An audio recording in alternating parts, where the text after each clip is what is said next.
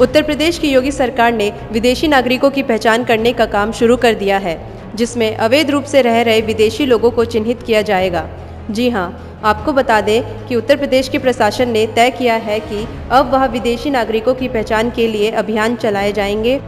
सूत्रों के मुताबिक एनसीआर की तर्ज पर ही यह पहचान का काम शुरू होगा जिसका मसौदा तैयार कर लिया गया है। मिली जानकारी के मुताबिक आज डीजीपी मुख्यालय सभी जिलों के कप्तान आईजी, डीआईजी, एडीजी जोन को एक पत्र भेजकर घुसपैठियों की पहचान का काम शुरू करने का निर्देश जारी कर सकता है।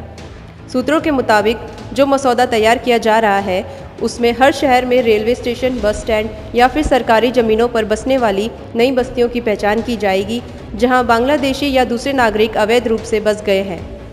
पुलिस प्रशासन ऐसे लोगों की पहचान करेगा और उनके फिंगरप्रिंट्स के डाटा जुटाए जाएँगे। साथ ही साथ उनके पास के दस्तावेजों को सत्यापित किया जाएगा।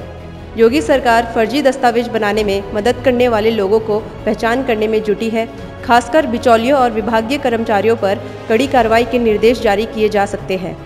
जो अवैध रूप से आकर रहने वाले लोगों को दस्तावेज़ बनाने और दिलाने में मदद करते हैं। Nation one bureau report. Nation one की खबरों के अपडेट के लिए आप हमारे चैनल को लाइक करें, सब्सक्राइब करें, पसंद आई वीडियो को शेयर करना ना भूलें और ज़्यादा जानकारी के लिए लॉग इन करें www.nation1.tv पर। अधिक जानकारी के लिए आप हमें ट्विटर फेसबुक पर भी फॉलो कर सकते हैं। तो खबरों की ज़्यादा जानकारी के लिए बने रहें नेशन वन के साथ।